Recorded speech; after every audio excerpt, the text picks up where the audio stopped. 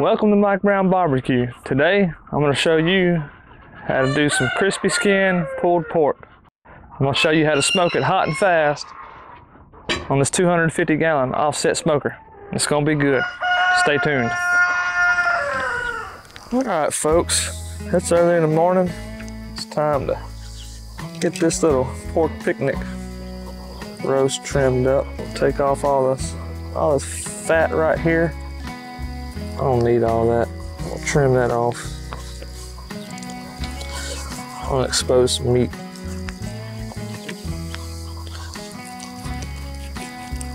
I'll have to take all of it off, but I'll take most of it off. Get all the loose pieces off. Just like that. Then we'll check the shape.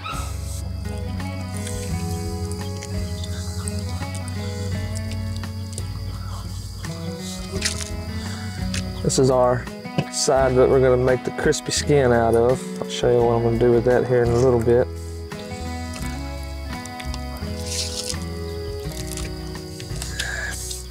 See this flap hanging off right here? I'm just not gonna be able to do nothing with that.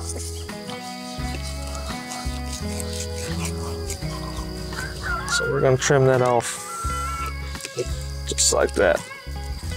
Anything that you got left loose back here, shape it off.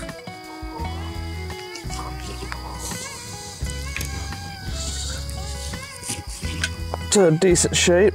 Make sure there's nothing loose hanging off.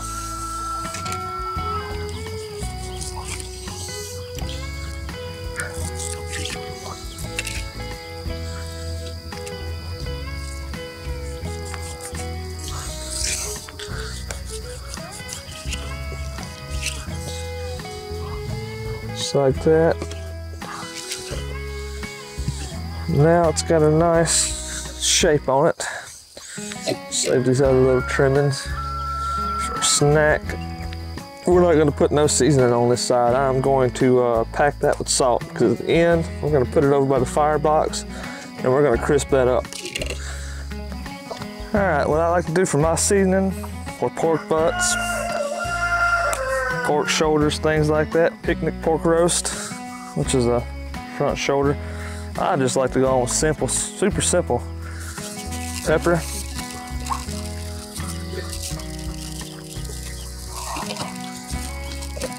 You can go on with a fairly heavy coat of pepper.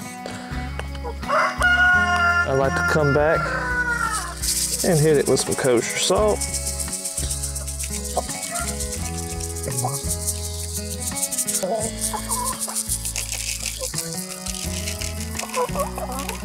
Don't forget the sides.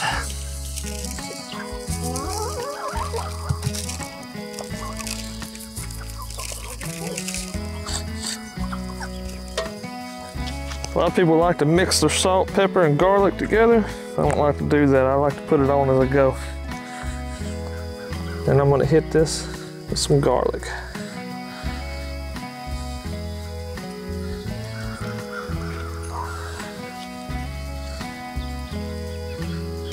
And just like that, seasoned up pork picnic roast. Pretty simple. To me, this is the best way to do these flavor, uh, your pork roast or any pork butt. That's the way I do all of them. It just soaks the smoke up, takes in all that flavor, and it's it's delicious. So we're gonna go get a fire started. Stay tuned. All right, folks. What you see right here spent coal from my last cook. I sifted it out in a basket. And we're gonna do the same thing we always do, is put on our drier pieces of oak. This is actually red oak. I'm gonna put this stuff up in here.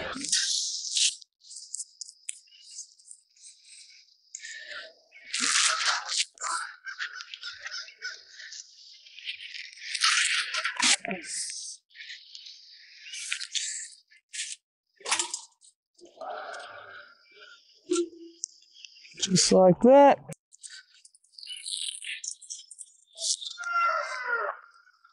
Got this all spaced out real good. And we're gonna start it with a torch. Cause that's just too easy to do.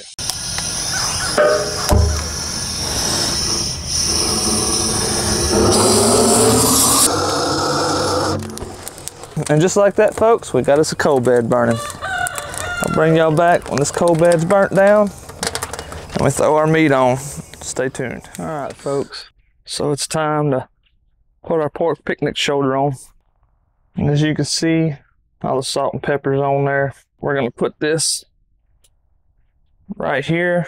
It's gonna be skin side up. We'll wipe off all this pepper off the skin right here. And then what we're gonna go on with next is some kosher salt. And what this kosher salt is gonna do is dry out the skin. So we're gonna put it on there real thick while we're smoking.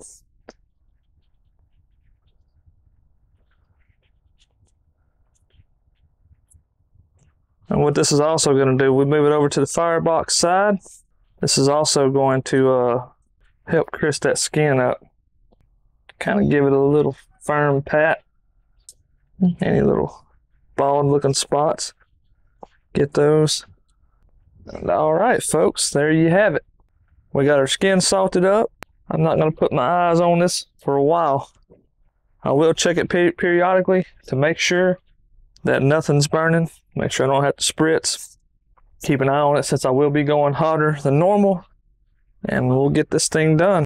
So we'll see y'all in a little bit. Stay tuned. Alright folks, as you see our coal bed's burnt down. We're going to move this up a little bit. I like to move my coal bed up in the beginning of the cook. Smash these coals down real good. But don't stir them up too much or uh, you'll throw a bunch of ash in your and uh, we're getting these all smashed down. We're going to clean the front of the coal bed out right there for airflow. We throw our logs on, kind of put them back there in the back off to the side, what I always do with them. So we got that managed. So now it's time to grab our green pieces of wood that we're going to go on for to get our smoke flavor put on this meat the way that we want it. And what we got today is some red oak, green red oak. As many of you know, stated in previous videos, I like to start out with green red oak dense logs. And we're going to uh, set that straight down onto that screaming hot coal bed. That's our channel logs. And then, then put two thicker dense pieces up on top. Put that one back there. Put this one right here. And uh, as you can see, that's already starting to take off. Yeah. As long as you got a screaming hot coal bed, you throw them greener pieces of wood on, they will catch and they'll give you a more robust smoke flavor that you're looking for. And uh, that's taking off. It's just the way we want it. All that smoke's going in there. So I'll close this firebox on down and let it do its thing. We'll look at the pork picnic roast here in about three to four hours, depending on how the cook's going. So we'll see y'all then. Stay tuned. All right, folks, a little temperature update. I've been running a pretty consistent fire 325, but I'm starting to drop. We got about an hour burn time out of that setup on bigger pieces of meat like this, you want to get stay on top of that fire. You don't want to go drop too low and have to come back up. It'll take forever to finish your cook. You want to be really consistent. So let's go manage the fire. All right, let's see what we got on our fire. As you can see, our channel logs are about gone. Hell, even our top logs are about gone. Let's roll this one off. Let's smash these down to our new coal bed.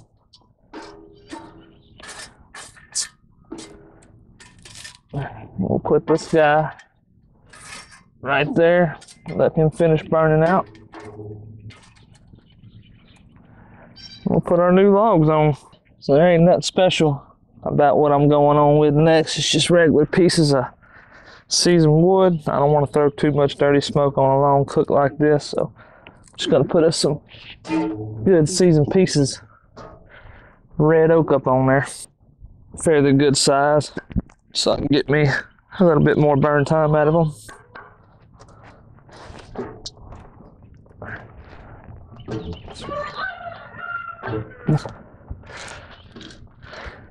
Just like that, our fire is managed. Again, we're about an hour into this cook. I got a feeling that we're gonna have to manage this fire every hour. You really got to keep an eye on things because you can go from 325 to 400 in a matter of minutes if you're not keeping an eye on this fire. All right, so she's taking off. I'm gonna close my door down and leave it about about an inch and a half, inch cracked, and let her ride.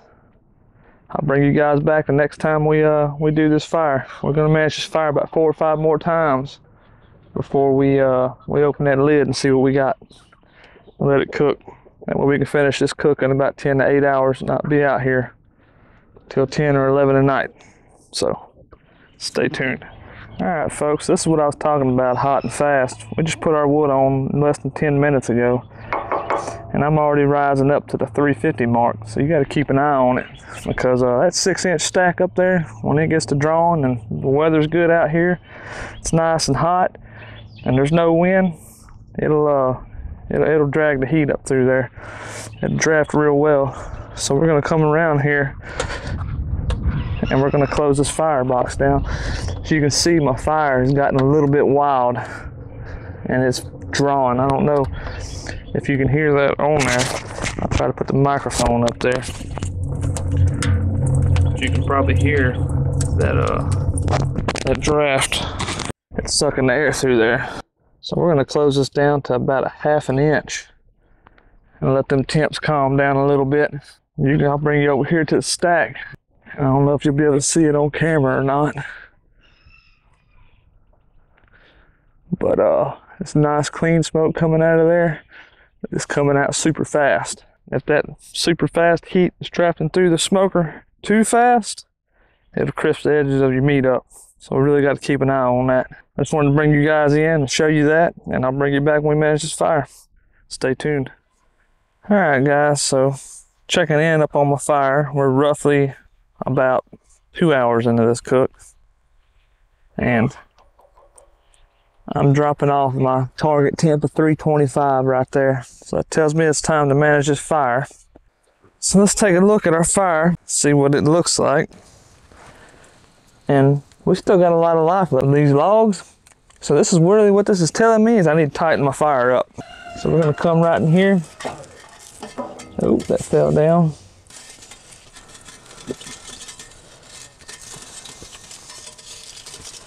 We're gonna scoot those logs in closer together. And we're gonna scoot our channel logs in closer together also.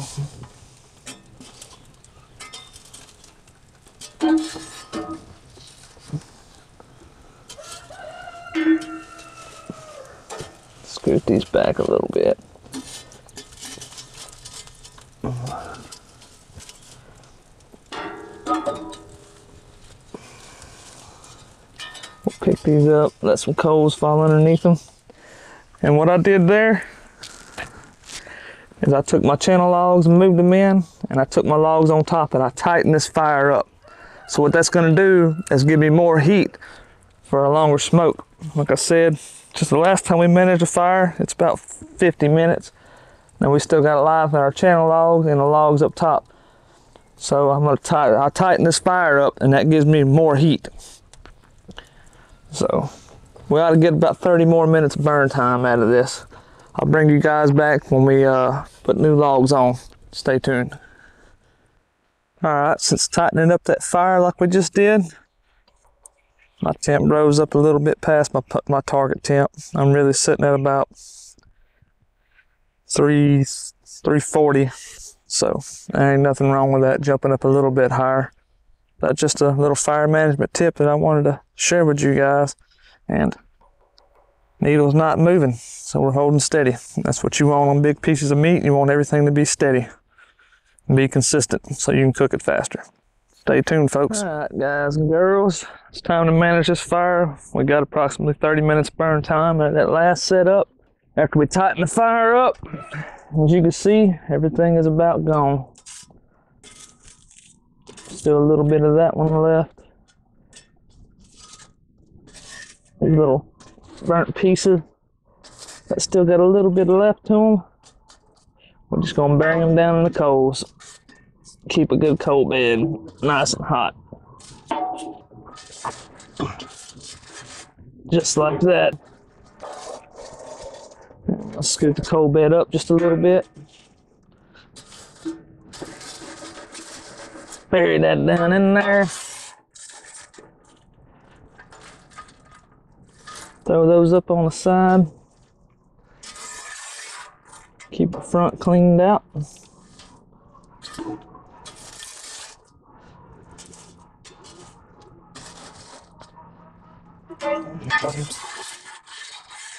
Make your little smiley face in there. And now we're gonna put some more wood on. I'm gonna go with some thicker channel logs to get some more bird time out of this setup.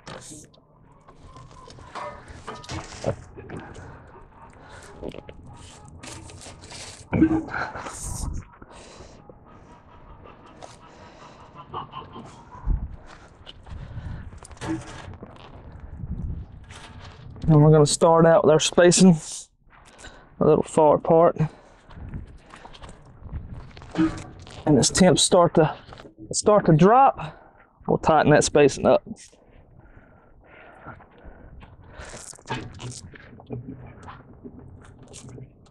And just like that, our fire is managed. I anticipate on getting about an hour and a half of burn time out of this setup right here. We're at the three hour and 15 minute mark on this uh, this cook here. But the four hour mark, I'm gonna open it up, see what it looks like. Whatever comes first, whether it be managing this fire, looking at that pork picnic roast. So stay tuned.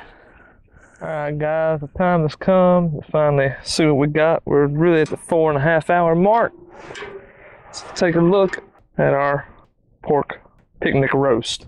As you can see, that salt on top is curled up. We don't seem to have no edges burning on it. It's got some decent color. I'm not going to peel that salt off till we get ready to crisp up the skin. I'm to leave it on there. But what we are going to do is check an internal temp. So at the four hour mark, we are uh, looking at about a 150 a 150 internal temp. Y'all can see that. So we're halfway there pretty much. And uh, we're fixing to be entering the stall. So we're fixing to have to manage this fire. Y'all stay tuned.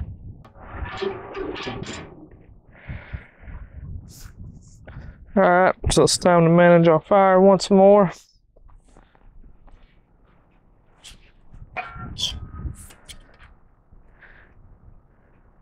As you can see, we still got some life left in the wood.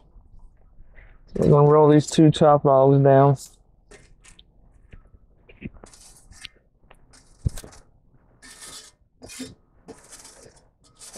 Bury it down in there. Get a little bit more friction. Damn it.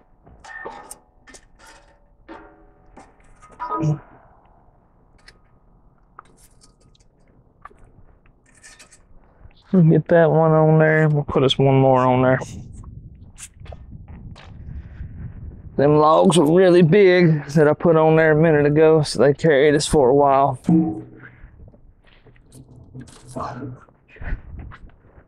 So we'll do it like that to maintain our temp. A lot of times when you get in the middle of these smokes right here and you've been running about four logs, your coal bed kind of starts to minimize a little bit. So then you'll have to add you a little bit more wood on there to maintain the temp, especially when you're going hot and fast. I still had a little bit left of them channel logs and the log that was on top. So I went ahead and rolled them up in the middle, put them tighter together, get the friction and get the heat, and put one fresh log on there and let it start burning down. Just the way it goes sometimes. In a perfect world, you just keep on managing it the same way you was managing it, but I wasn't getting my temp that I wanted, so had to improvise. But that initial setup, I got roughly an hour out of, so that's always good. And I'll probably get about 45 minutes out of this before I got to reconfigure everything. So that's pretty much it. I'm gonna close this uh, firebox down about an inch open, and we'll let it ride. Y'all stay tuned. All right, guys, it's time to manage our fire. We're officially at the five hour mark. Yep, five hour mark. So it's time to see what we got here. That big thick log I originally put on there. I'm gonna roll it off. The rest of these are pretty well burned down. But now we're back to having a healthy coal bed.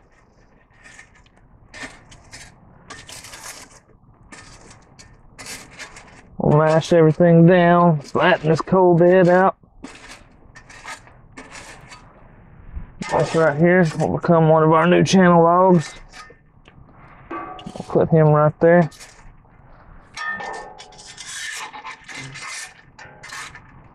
We'll put this dude up on the side.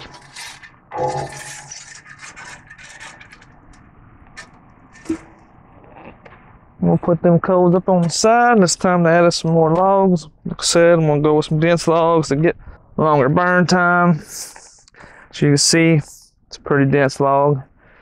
And there ain't nothing special about that wood. It's, it's good seasoned wood. That's gonna give me some good burn time. And we'll throw these two dudes on there. Just like that. I'm gonna take right off and I look for that to give me another hour of burn time. We're at the five hour mark on this cook. Uh, when we hit the uh, seven hour mark, we'll check this meat again and see what the internal temp's looking like. Make sure nothing's burning. I'm not really worried about checking for nothing burning because I've ran a low and slow fire. Even though it's been hot, my flame has been low and slow. I'll go ahead and close this down. Since it's taking off. My flame has been low and slow and it, nothing's no flame shot into the exchange. It hasn't been an aggressive fire. It's been a low and slow fire. When you run a low and slow fire like that you run less risk of burning the edges of your meats on long cooks and stuff like that so i'm not worried about spritzing i'm not worried about opening that lid up and looking at it because i know i've ran a fire that's been very low and slow and aggressive but it's been hot. It's been 325, about 340 to, to, to 315 most of the time, 320. We'll check this out here in a little bit. Stay tuned. All right, folks, as you can see, our last setup is about gone.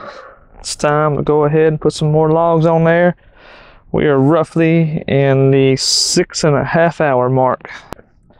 This little dude right here, I'm gonna stick him right in the middle.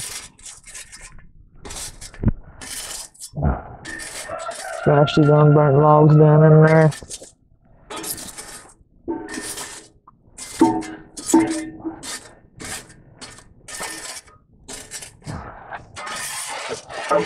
Clean the front of your coal bed out.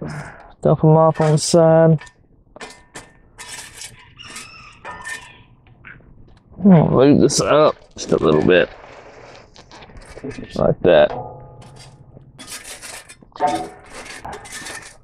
There ain't much left of those logs there, so I'm gonna be putting logs on top of them logs.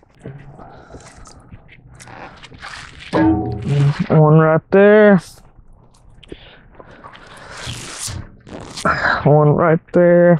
And two thinner ones up top.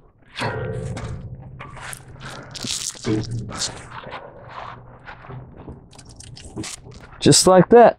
Here in 30 minutes, we'll take a look at that uh, picnic pork shoulder. Bone in. Stay tuned. Alright, folks. So we are at the seven hour mark. It's time to check this thing out, see how far along we are. We got good bark built on the sides. It's not burnt. There you have it. There's a close-up of that thing. We are sitting at 191. And it's time to get the salt off the top of this thing.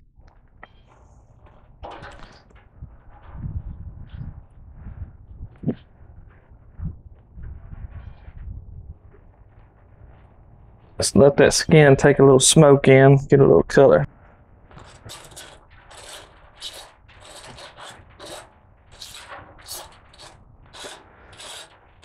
All right, as you can see, that's what it looks like now that we got all the salt removed off the top of the skin.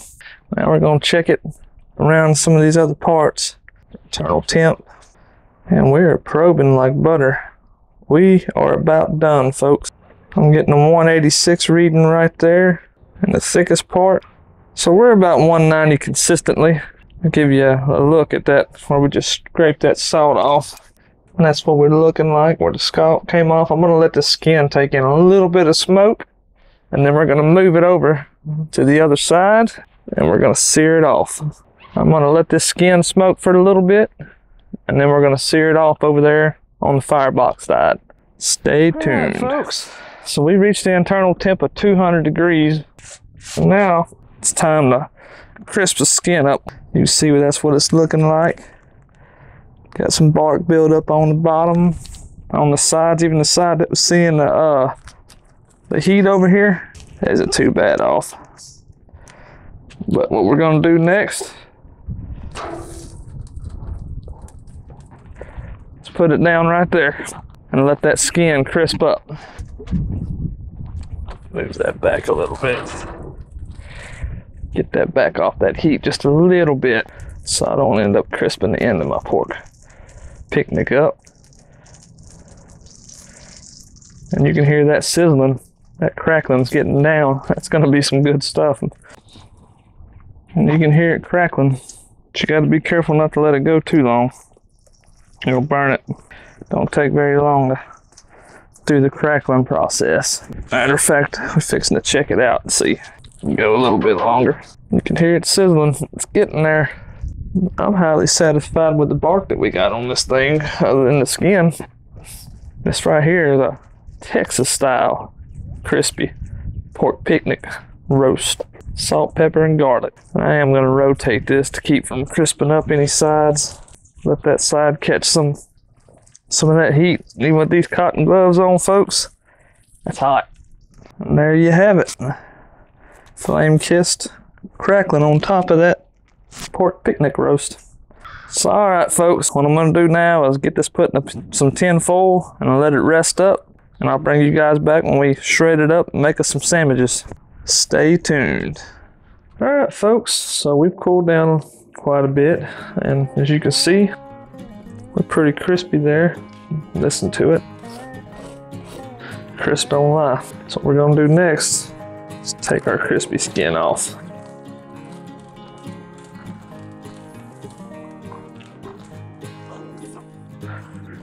Nice and crispy. We're gonna set this down right here on the cutting board as well. Cut that up here in a little bit. All right, now we got all the skin off. And now the next thing we're gonna do, pull our bone out. Let's find it, there it is. There you have it folks, clean bone. Came out clean. Now what we're gonna do next, and we got some really good bark on the outside of this. So what we're gonna do next is uh, get our hands up in there. Make sure you got all the bones out. Sometimes there's a little bitty bones in here. And we're gonna shred it apart, just like pulled pork.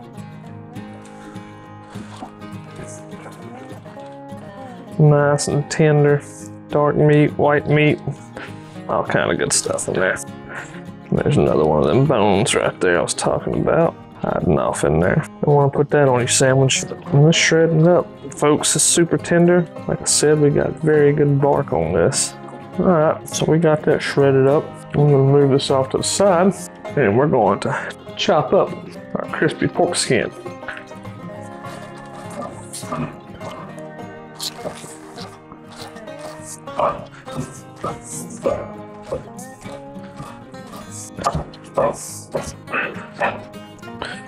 Just like that.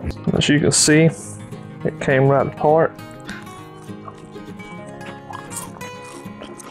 Mmm, man, that crispy pork skin is good.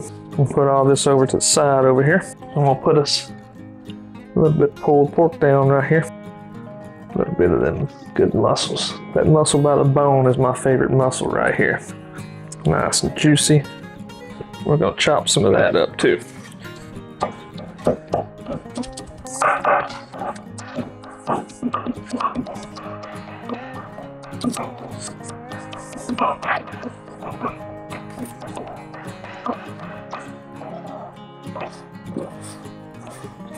Just like that. And we got that chopped up. Now, all that's left to do is to make us a sandwich. So we'll put our bun down right here. We'll put our pulled pork on there. Just like that. And then we'll add some of our crispy bits to it.